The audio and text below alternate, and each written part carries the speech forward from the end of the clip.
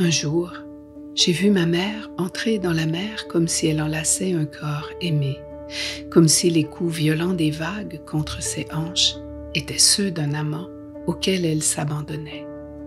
Pour elle, l'eau n'était pas glaciale, le soleil ne brûlait pas sa peau. Le vent balayait ses cheveux, révélait la beauté de ses traits et la forçait à ancrer ses pieds plus profondément dans le sable. Son regard cherchait-il quelque chose au bout du vide? Attendait-elle que la mer rejette des débris reparus à la surface, comme le sont des souvenirs? Alors, ma mère redevenait pour moi une inconnue.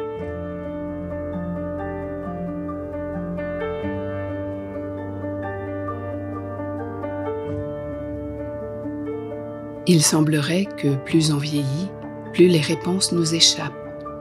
Peut-être aussi qu'elles nous importent moins.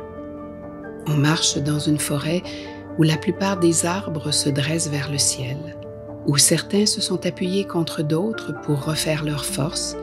Quelques-uns sont morts déjà. Il y a eu des nuits si noires que l'on ne savait plus comment avancer. Il y a eu les brumes légères, les tempêtes de glace. Il y a eu les saisons, les rêves et les tourments, les amours et les amitiés brisées, parfois retrouvées. Surtout, il y a eu cette clarté entre les arbres. Ce chemin, on a appris à le voir, à le suivre aussi. Où que l'on soit, un ruisseau rejoint la rivière où court le présent. Un fleuve et un océan finiront par emporter nos absents. Ils laissent s'écouler le temps et nos histoires.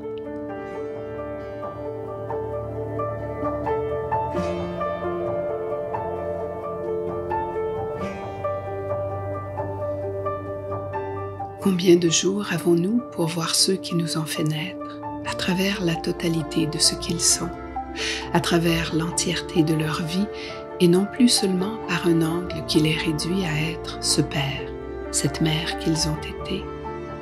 Combien de temps auront-ils pour nous rejoindre, nous donner ce regard que nous attendons, qui nous dira un peu de ce que nous sommes et nous confirmera dans notre existence? Encore aujourd'hui, je ne peux dire que je connais toute l'histoire, mais sait-on jamais la vérité entière de nos parents? Ici, les tempêtes nous dérobent le ciel et parfois même nos rêves.